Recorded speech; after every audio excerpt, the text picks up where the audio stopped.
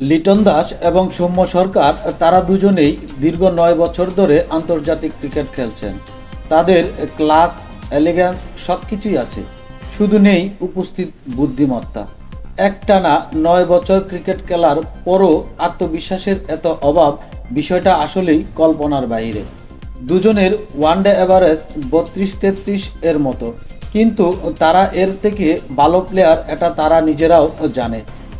ধারাবাহিকতার অভাবের কারণে বারবার বাংলাদেশের টপ অর্ডার তাসের ঘরের মতো ভেঙে দুজনের ওয়ানডে অ্যাভারেজ বত্রিশ তেত্রিশের মতো। কিন্তু তারা এর থেকে ভালো প্লেয়ার, এটা তারা নিজেরাও জানেন।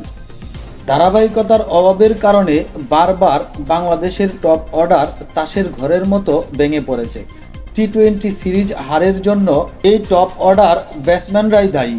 যে একটা ম্যাচ লিটন সৌম্যরা রান পেয়েছেন সেই একটা ম্যাচেই বাংলাদেশ জিতেছে আর বাকিগুলোতে পরাজয় বরণ করতে হয়েছে। প্রথম ওয়ানডেতে লিটন দাস শূন্য রানে আউট হলেন এক বল খেলে আর সৌম্য সরকার তিন রানে আউট হলেন নয় বল খেলে।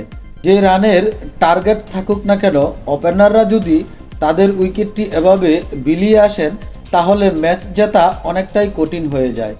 সৌম্য সরকার, লিটন দাস দুজনেই এখন অভিজ্ঞ প্লেয়ার তবে দেখে বোঝার উপায় নেই, তারা এতদিন ধরে ক্রিকেট খেলছেন। লিটন দাস বর্তমানে অটুট হয়ে তিন ফরম্যাটেই বাংলাদেশের হয়ে আছেন নিয়মিতই। এরপরও ধারাবাহিকতার অভাব স্পষ্টই। ইনিংসের শুরুতেই উইকেট হারিয়ে দলের সর্বনাশ ডেকে আনছেন বারবার।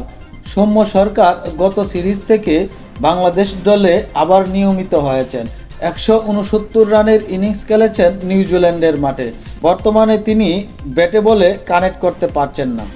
অবশ্য বিপিএলে এক এক পজিশনে ব্যাট করে তার শেপ নষ্ট হয়ে গেছে।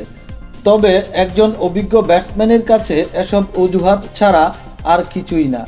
স্কোয়াডে আছেন এনামুল হক, বিজয় ও তানজিন হাসান তামিম। গত সিরিজে বিজয় মোটামুটি ভালো পারফর্ম করেছেন আর তানজিন তামিম বিশ্বকাপে খুব একটা ভালো পারফর্ম করতে পারেননি ঠিকই। তবে সাম্প্রতিক সময়ে তিনি বিপিএলে অসাধারণ খেলেছেন। পরবর্তী ম্যাচে আপনি কি বিজয় কিংবা তানজিন তামিমকে দেখতে চান? অবশ্যই কমেন্ট করে আপনাদের মতামত জানাবেন।